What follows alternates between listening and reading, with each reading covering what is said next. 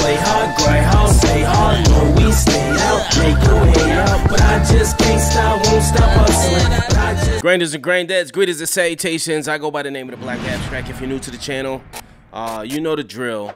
What I'm gonna say. Make sure you like, subscribe, hit the notification bell.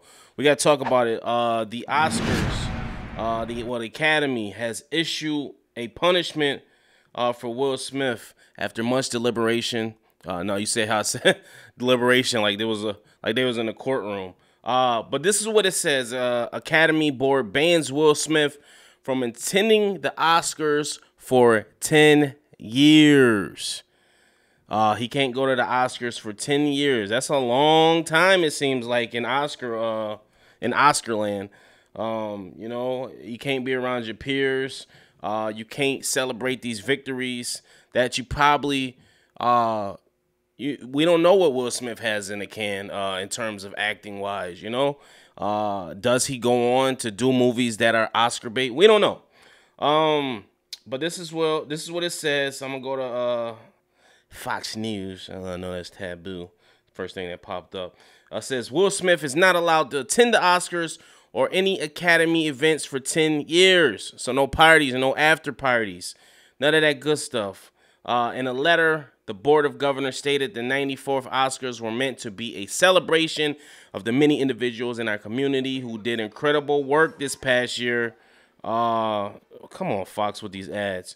Um, and however, these moments were overshadowed by the unacceptable and harmful behavior we saw Mr. Smith exhibit on stage. During our telecast, we did not adequately address the situation. I hope I said that correctly. I know I'm a, uh, I'm a dropout, non-grads entertainment. But anyway, uh, address the situation in the room. For this, we are sorry. This was an opportunity for us to set an example for our guests, viewers, and our academy family around the world, and we fell short. Yes, you did fall short. I'm prepared for the unprecedented. Uh, today, the Board of Governors convened a meeting to discuss how best to respond to Will Smith's actions at the Oscars, in addition to accepting his resignation. The board has decided for a period of 10 years from April 8th, 2022, Mr. Smith shall not be permitted to attend any Academy events or programs in person or virtually, including but not limited to the Academy Awards. We want to express our deep gratitude to Mr. Rock for maintaining his composure under extraordinary circumstances. We also want to thank our hosts, nominees, presenters, and winners for their poise and grace during our telecast. This actions, the action we are taking today in response to Will Smith's behavior is a step toward a larger goal of protecting the safety of our performers and guests and restoring trust in the Academy. Uh, we also hope this can be a time of healing and restoration for all involved and impacted. There you have it, ladies and gentlemen. It doesn't say anything about them taking his Oscar. Um, but I don't think Will Smith will be getting a Oscar anytime soon in the foreseeable future.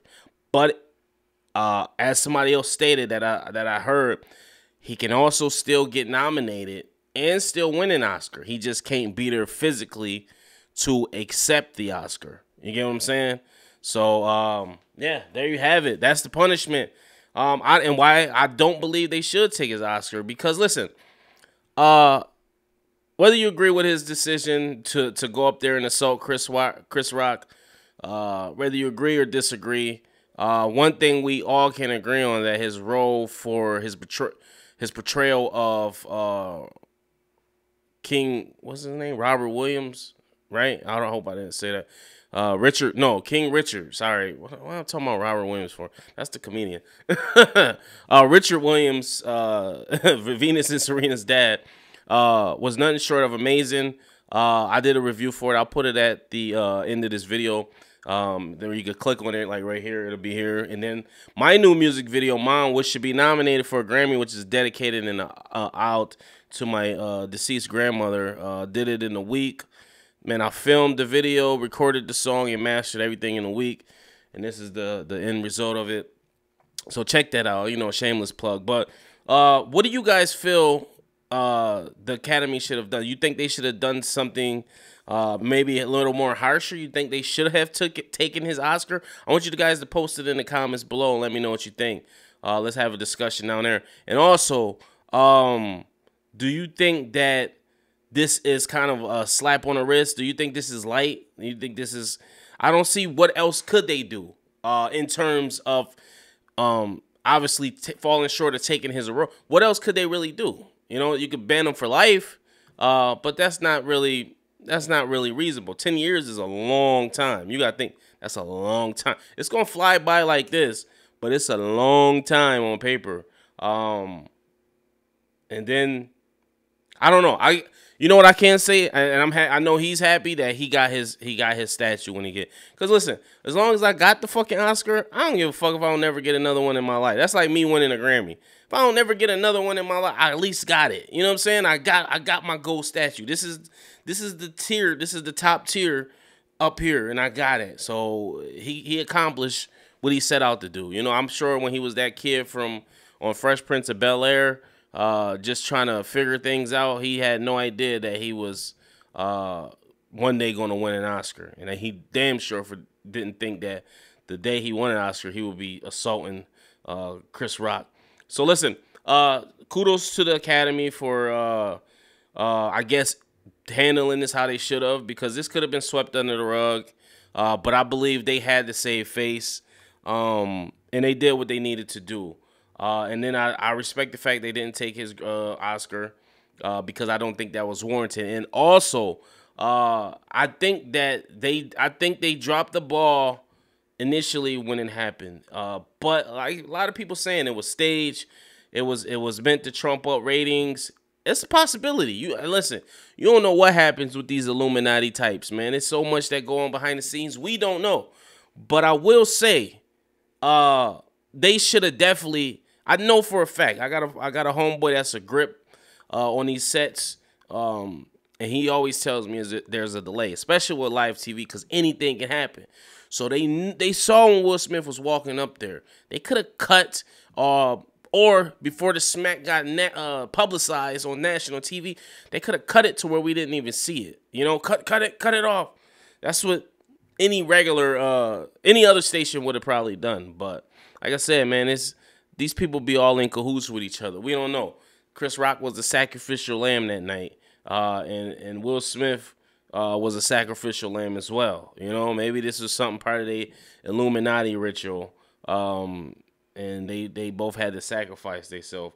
Uh, Will Smith had to sacrifice himself to get the Oscar, and Chris Rock needed ticket sales to skyrocket, so he was the sacrificial lamb for that.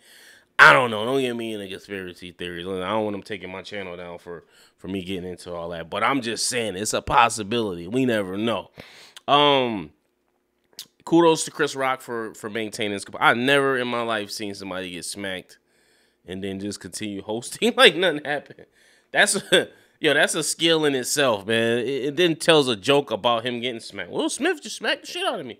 Uh, so kudos to that. Uh, but yeah, this is it hopefully, and I mean hopefully, I mean this with all my sincerity and heart, we can stop talking about the situation and move on from this because at the end of the day, I'm tired of talking about it. I'm tired of I'm tired of situations like this because whether you agree or disagree, right? Which is what life is about.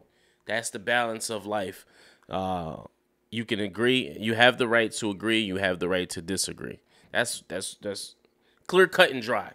But when everything else around it becomes circumstantial, and then you start bringing up theories and and uh, well, you know, his wife, blah blah blah, and she's been blah blah blah.